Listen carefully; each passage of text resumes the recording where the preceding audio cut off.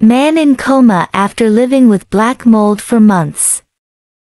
Englewood, Florida, WBBH, a Florida man is in the hospital fighting for his life after suffering an asthma attack on Christmas Eve. His family's troubles began when Hurricane Ian flooded their home, and toxic black mold appeared.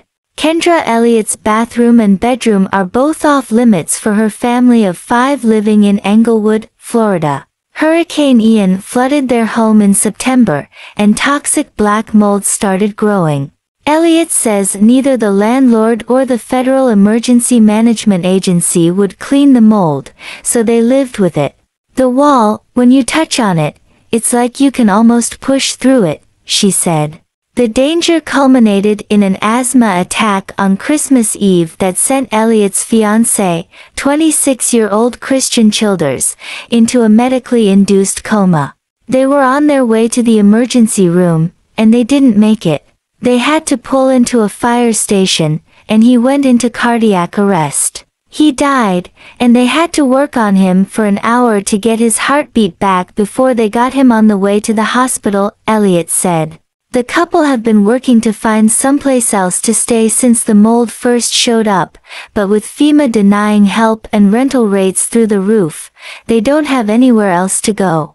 Now, in addition to trying to find safe housing, Elliot sits at her fiancé's bedside during visiting hours. She never imagined she'd spend Christmas Day in the hospital.